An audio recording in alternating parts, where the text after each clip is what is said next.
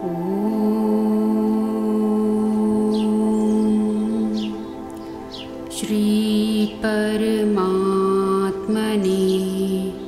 नमः। अथ श्रीमद्भागवद्गीता महात्मयम्। श्रीगणेशाय नमः। श्रीराधारमणाय नमः। धरुवाच।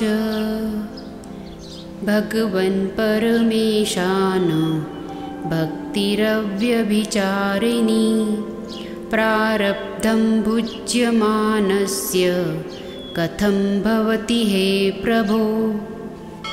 श्रीविष्णुरुवाच।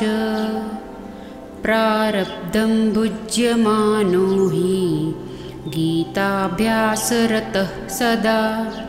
स मुक्तः स सुखी लोके कर्मणा नोपलिप्यते महापापादिपापानि गीताध्यानं करोति चेत् क्वचित् स्पर्शन्न कुर्वन्ति। नलिनीदलमम्बुवत् गीतायाः पुस्तकं यत्र पाठः प्रवर्तते तत्र सर्वाणि तीर्थानि प्रयागादिनि तत्र वै। सर्वे देवाश्च ऋषियो योगिनः पन्नगाश्च ये।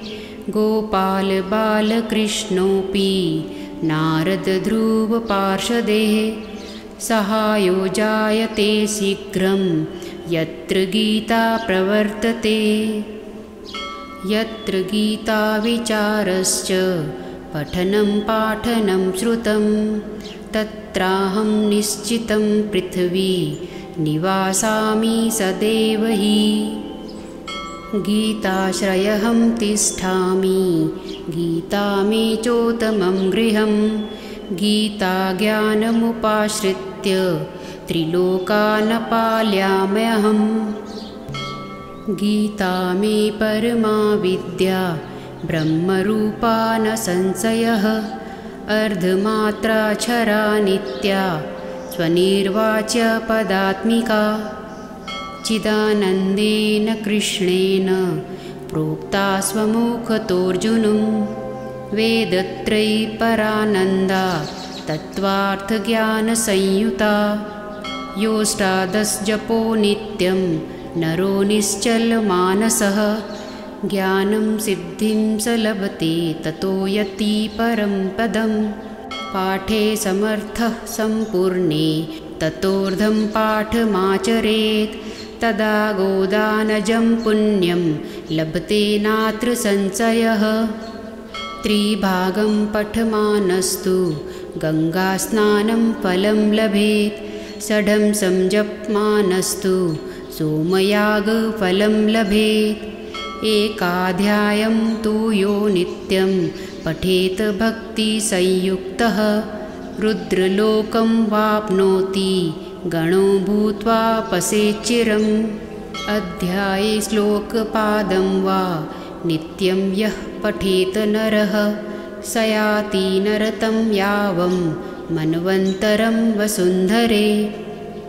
गीताया श्लोकदशकं सप्तपञ्चं चतुष्टयं द्वो त्रीनेकं तधर्मं वा। श्लोकानां यः पठे नरः चन्द्रलोकं वाप्नोति वर्षाणामयुतं ध्रुवं। गीतापाठसमायुक्तो मृतो मानुसतां व्रजेत्। गीताभ्यासं पुनः कृत्वा लभते मुक्तिमुक्तमां गीतेत्युच्चारसंयुक्तो म्रियमाणो गतिं लभेत्। गीतार्थश्रवणासक्तो महापापयुतोऽपि वा वैकुण्ठं समवाप्नोति। विष्णुना सह मोदते। गीतार्थं ध्यायते नित्यं। कृत्वा कर्माणि भूरिशः जीवनमुक्तः स विज्ञेयो। देहान्ते परमं पदम्। गीतामाश्रित्य बहवो। भूभुजो जनकादयः निर्धूतकल्मषालोके गीतायातः परं पदम्। गीतायाः पठनं कृत्वा महात्म्यं नैव यः पठेत्। वृथा पाठो भवेत् तस्य श्रम एव हुयदाहृतः एतन्महात्मये संयुक्तं गीताभ्यासं करोति यः। सतमं फलं वाप्नोति दुर्लभां गतिमाप्नुयात् सूत उवाच। महात्मयमेतद्गीताय मया प्रोक्तं सनातनं। गीतान्ते च पठेतस्तु यदुक्तं तत्फलं लभेत्। इति श्रीवारहपुराणे श्रीमद्गीतामहात्म्यं सम्पूर्णम् ओम शांति शांति शांति।